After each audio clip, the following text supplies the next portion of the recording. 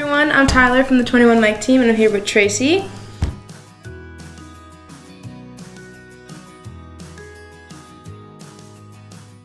Um, I work for the Mike Ferrante team and I've been at Century 21 for about 15 years. I'm a licensed realtor since 1986.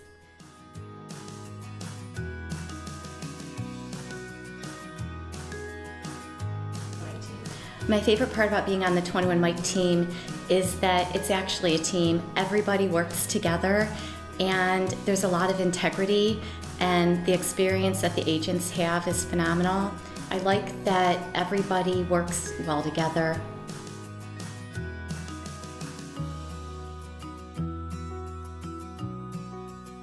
My favorite part about being a realtor is helping somebody with the biggest investment they make in a lifetime. It's very important and it's not like you're going to the store and buying a pair of shoes. It's a big purchase and it takes patience, it takes explaining and knowledge to educate the buyer, um, especially the first time buyers. Those are my favorite to work with. There's just so many resources out there for first time buyers, and having the knowledge and being able to share that with them makes me feel great. And then watching them get the keys the first time to their home is very special.